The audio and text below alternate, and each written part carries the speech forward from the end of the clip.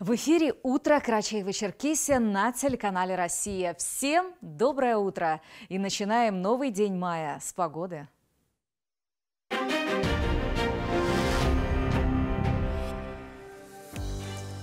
В Карачаево-Черкесии местами кратковременные дождь и гроза, в отдельных районах сильный, ветер северо-западный 5-10 метров в секунду. Температура ночью 7-12, в горах до плюс 6, днем 16-21 и в горах местами 10-15.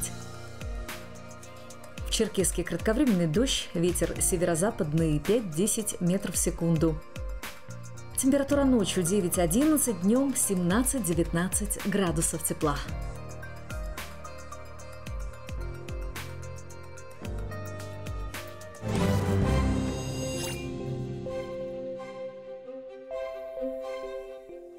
И далее об основных событиях в республике.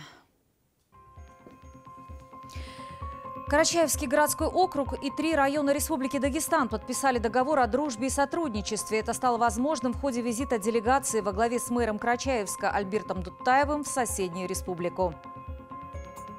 В МВД прошло мероприятие, в ходе которого провели соответствие условий предоставления госуслуг установленным стандартам качества, а также содержание информационных стендов, находящихся в доступных гражданам местах.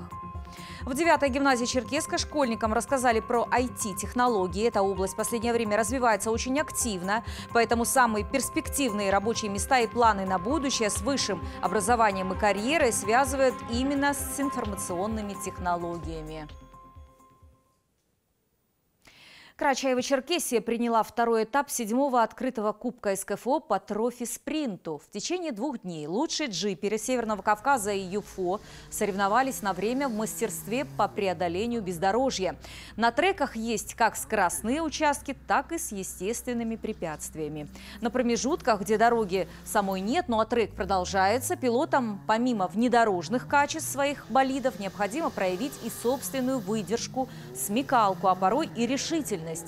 Результаты итогов второго этапа подтвердили прогнозы капитана команды Ахмата Барлакова и пилота Роберта Богатырева. В пяти из семи категорий первые места взяли наши джиперы. На втором месте командного зачета клуб из Северной Осетии Владикавказ. Ну а замыкает тройку лидеров команда Чеченской Республики Ахмат.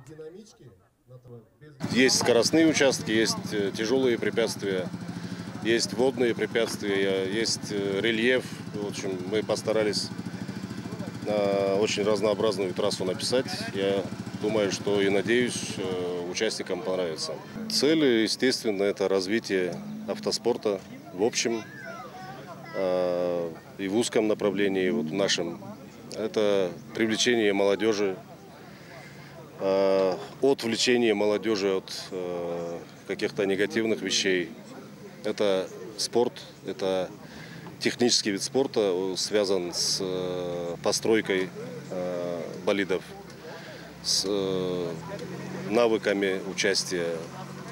Очень многому человек учится и в техническом плане, и в физическом, моральном плане человек очень должен быть незаурядным, чтобы выигрывать именно в данном виде автоспорта. Не каждому даются победы. Наша команда считается одной из сильнейших на юге России и не только. Так что, надеюсь, в этот раз тоже спортсмены выступят нормально, достойно и с хорошим результатом. Нас всего шесть машин, но записали пять сильнейших. Вот. Надеемся, Аллах Отца выиграем. Потенциал те, которые готовы рвать и побеждать. Новый информационный день продолжает свое вещание на телеканале «Россия-1». Ровно в 9 смотрите «Вести» на карачаевском языке. Ну а я с вами не прощаюсь. Мы встретимся в 9.34 в Большом утре.